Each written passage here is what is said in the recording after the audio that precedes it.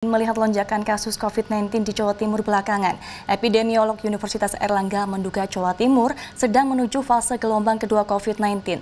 Penambahan kasus diprediksi akan terus naik pasca cuti bersama akhir tahun hingga akan membebani fasilitas kesehatan. Kurva penambahan kasus COVID-19 di Jawa Timur menunjukkan kondisi yang naik turun. Awal April hingga pertengahan November telah membentuk sebuah gelombang sekaligus menjadi yang pertama dengan puncak penambahan kasus harian pada akhir Agustus lebih dari 600. Penambahan kasus harian kemudian turun pelan-pelan atau cenderung stagnan setelah akhir Agustus dengan 300 hingga 400 kasus baru. Dan pada pertengahan November hingga kini kembali naik mencapai 800 kasus baru akibat libur panjang akhir Oktober. Karena itu, epidemiolog Universitas Airlangga Windu Purnomo menyebut Jawa Timur kini sedang menuju gelombang kedua COVID-19.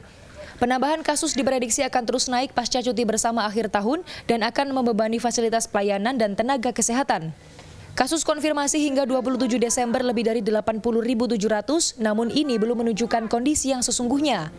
Pasalnya, tracing yang dilakukan di Jawa Timur masih sekitar 10 kontak erat dari satu orang yang positif COVID-19, sementara idealnya adalah 25. Testing yang dilakukan juga masih sekitar 36 ribu per minggu dari batas minimum 40 ribu. Semua negara berhasil itu melakukan lockdown ketat, enggak. Ya, tetapi testingnya dan tracingnya bagus gitu loh. Nah kita itu yang harusnya dilakukan ya. Jadi uh, jangan uh, apa namanya kita ini merasa oh Indonesia ini bagus loh kasusnya tidak setinggi yang lain lah. Tidak setinggi yang lain itu ya karena karena memang testingnya kecil gitu, bukan karena kita ini berhasil, bukan.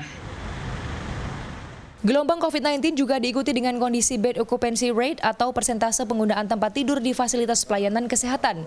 Pada Juli hingga Agustus, BOR mencapai 70 persen. September hingga Oktober turun menjadi 35 hingga 45 persen. Dan Desember meningkat lagi menjadi 60 hingga 70 persen. Terkait testing, gugus tugas percepatan penanganan COVID-19 Jawa Timur telah menerapkan rapid test antigen. Jika hasilnya positif, pasien baru dilakukan tes swab. Sementara terkait treatment, kapasitas ruang ICU dan isolasi telah dinaikkan 22 persen. Jumlah rumah sakit rujukan ditambah menjadi 145 dari 127. Jumlah tempat tidur di rumah sakit darurat di Surabaya, Malang, dan Jember juga ditambah.